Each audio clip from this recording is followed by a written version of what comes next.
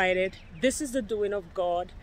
These are some UFMites who they were kids, like young, when I used to talk to them in Reston and they moved. And for some reason, I never ever visited them. Never. I mean, in years. I haven't seen them in years.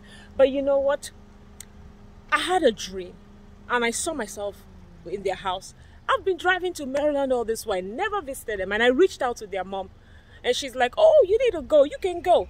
So I took permission from the mother and as I was just driving right now, I was going home, I was praying in tongues, Mashakata pata pata. I've not broken my fast yet. And I just saw Silver Spring. I'm like, you know what? Why why don't I just stop by?